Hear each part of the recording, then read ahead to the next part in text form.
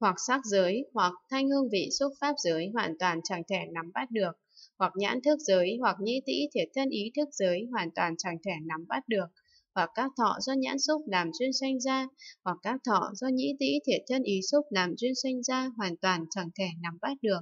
hoặc địa giới, hoặc thủy hỏa phong không thức giới hoàn toàn chẳng thể nắm bắt được, hoặc vô minh, hoặc hành thức danh sắc lục xứ, xúc thọ ái thủ hữu, sanh lão tử hoàn toàn chẳng thể nắm bắt được. Hoặc bố thí ba la mật đa, hoặc tịnh giới an nhẫn, tinh tấn tịnh lự bát nhã ba la mật đa, hoàn toàn chẳng thể nắm bắt được.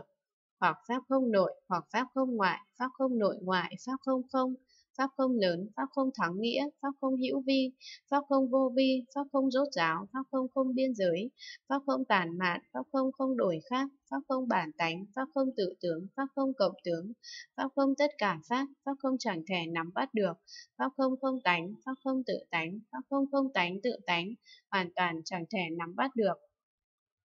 hoặc chân như hoặc pháp giới pháp tánh, tánh chẳng hư vọng, tánh chẳng đổi khác, tánh bình đẳng, tánh ly sanh, pháp định, pháp trụ, thật tế,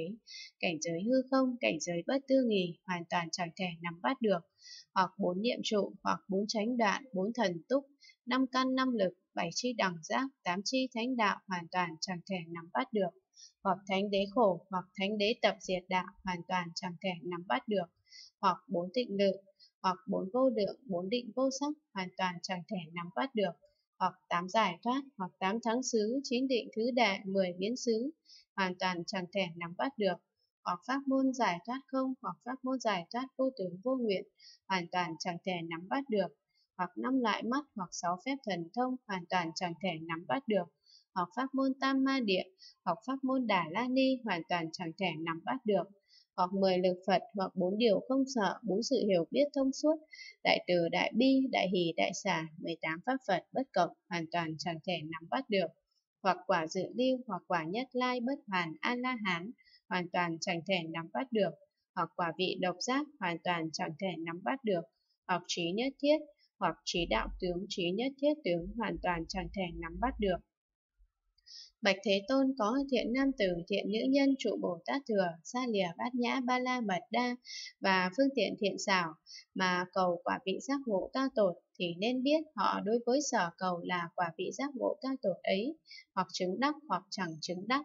Vì sao? Bạch Thế Tôn vì các thiện nam tử, thiện nữ nhân trụ Bồ Tát Thừa ấy, xa Lìa Bát Nhã Ba La Mật Đa và phương tiện thiện xảo nên đối với việc tu hành bố thí, tịnh giới, an nhẫn, tinh tấn, tịnh lợi bát nhã, ba la mật đa đều chấp thủ tướng. Đối với việc an trụ pháp không nội, pháp không ngoại, pháp không nội ngoại, pháp không không, pháp không lớn, pháp không thoáng nghĩa, pháp không hữu vi, pháp không vô vi, pháp không rốt ráo, pháp không không biên giới, pháp không tản mạn, pháp không không đổi khác, pháp không bản tánh, pháp không tự tưởng, pháp không cộng tướng, pháp không tất cả pháp, pháp không chẳng thể nắm bắt được, pháp không không tánh, pháp không tự tánh, pháp không không tánh tự tánh,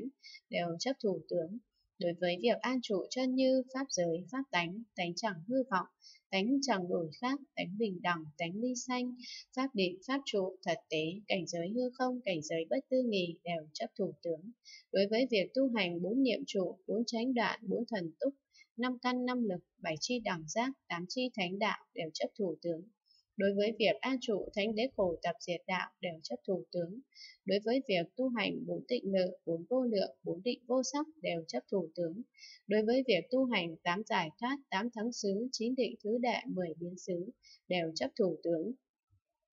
Đối với việc tu hành pháp môn giải thoát không vô tướng vô nguyện đều chấp thủ tướng. Đối với việc tu hành năm loại mắt, sáu phép thần thông đều chấp thủ tướng. Đối với việc tu hành pháp môn tam ma địa, pháp môn đà la ni đều chấp thủ tướng.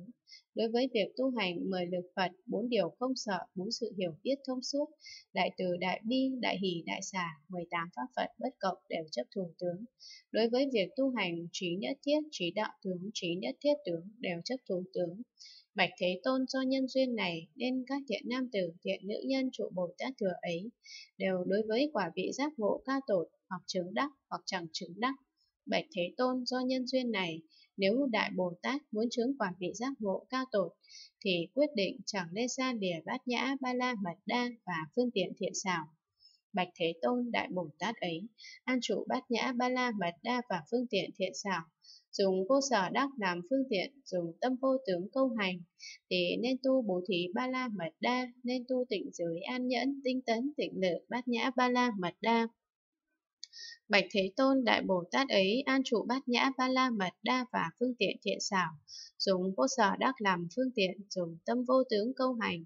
thì nên an trụ pháp không nội, nên an trụ pháp không ngoại, pháp không nội ngoại, pháp không không, pháp không lớn, pháp không thắng nghĩa, pháp không hữu vi, pháp không vô vi, pháp không rốt giáo pháp không không biên giới, pháp không tàn mạ, pháp không không đổi khác, pháp không bản tánh, pháp không tự tướng, pháp không cộng tướng, pháp không tất cả pháp, pháp không chẳng thể nắm bắt được, pháp không không tánh, pháp không tự tánh, pháp không không tánh tự tánh. Bạch Thế Tôn Đại bổn Tát ấy, an trụ bát nhã ba la mật đa và phương tiện thiện xảo, dùng vô sở đắc làm phương tiện, dùng tâm vô tướng câu hành thì nên an trụ chân như, nên an trụ pháp giới, pháp tánh, tánh chẳng hư vọng, tánh chẳng đổi khác, tánh bình đẳng, tánh ly sanh, pháp định, pháp trụ, thật tế, cảnh giới hư không, cảnh giới bất tư nghỉ. Bạch Thế Tôn Đại Bồ Tát ấy an trụ bát nhã ba la mật đa và phương tiện thiện xảo, dùng vô sở đắc làm phương tiện, dùng tâm vô tướng câu hành, thì nên tu bốn niệm trụ, nên tu bốn chánh đoạn, bốn thần túc, năm căn năm lực, bảy chi đẳng giác, tám chi thánh đạo.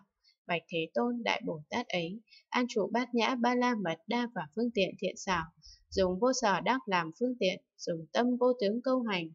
thì nên an trụ thánh đế khổ, nên an trụ thánh đế tập diệt đạo. Bạch Thế Tôn Đại Bồ Tát ấy an trụ bát nhã ba la mật đa và phương tiện thiện xảo,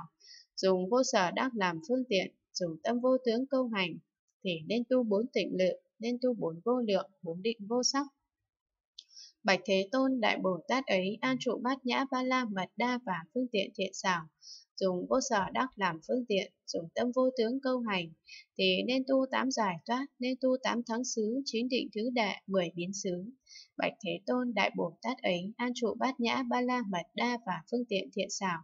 dùng vô sở đắc làm phương tiện, dùng tâm vô tướng câu hành, thì nên tu pháp môn giải thoát không, nên tu pháp môn giải thoát vô tướng vô nguyện. Bạch Thế Tôn, Đại Bồ Tát ấy an trụ bát nhã ba la mật đa và phương tiện thiện xảo, dùng vô sở đắc làm phương tiện, dùng tâm vô tướng câu hành, thì nên tu năm loại mắt, nên tu sáu phép thần thông. Bạch Thế Tôn Đại Bồ Tát ấy, an trụ bát nhã ba la mật đa và phương tiện thiện xảo, dùng vô sở đắc làm phương tiện, dùng tâm vô tướng câu hành, thì nên tu pháp môn tam ma địa, nên tu pháp môn đà na ni. Bạch Thế Tôn Đại Bồ Tát ấy an trụ bát nhã ba la mật đa và phương tiện thiện xảo, dùng vô sở đắc làm phương tiện, dùng tâm vô tướng câu hành, để nên tu mười được Phật, nên tu bốn điều không sợ, bốn sự hiểu biết thông suốt, đại từ, đại bi, đại hỷ, đại xả, 18 pháp Phật bất cộng. Bạch Thế Tôn Đại Bồ Tát ấy an trụ bát nhã ba la mật đa và phương tiện thiện xảo, dùng vô sở đắc làm phương tiện, dùng tâm vô tướng câu hành, thì nên tu trí nhất thiết, nên tu trí đạo tướng, trí nhất thiết tướng. Bạch Thế Tôn, Đại Bồ Tát ấy, an trụ bát nhã, ba la mật đa và phương tiện thiện xảo, dùng vô sở đắc làm phương tiện, dùng tâm vô tướng câu hành, an trụ tất cả Phật Pháp như vậy, thì nhất định chứng đắc quả vị giác ngộ cao tột.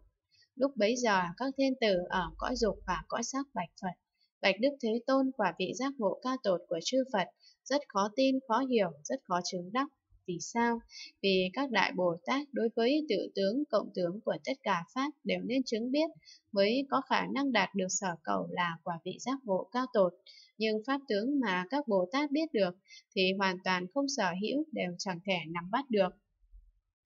Lúc bấy giờ, Phật bảo các thiên tử, đúng vậy, đúng vậy, đúng như các ông đã nói. Quả vị giác ngộ cao tột của chư Phật rất khó tin, khó hiểu, rất khó chứng đắc. Này các thiên tử nên biết ta cũng hiện, biết tất cả pháp tướng chứng đắc quả vị giác ngộ cao tổ nhưng hoàn toàn chẳng thủ đắc pháp tướng thắng nghĩa có thể diễn đạt. Đây là năng chứng, đây là sở chứng, đây là chỗ chứng, đây là khi chứng và có thể nói do pháp ấy mà chứng. Vì sao? Này các thiên tử, vì tất cả pháp rốt giáo đều thanh tịnh, nên hữu vi vô vi rốt giáo là không. Lúc bấy giờ cụ thọ thiện hiện bạch Phật, Bạch Thế Tôn như Phật đã dạy, quả vị giác ngộ cao tột của chư Phật, rất khó tin, khó hiểu, rất khó chứng đắc, như con suy nghĩ ý nghĩa mà Phật đã dạy về quả vị giác ngộ cao tột của chư Phật là rất dễ tin hiểu, rất dễ chứng đắc. Vì sao? Vì nếu có khả năng tin hiểu, không có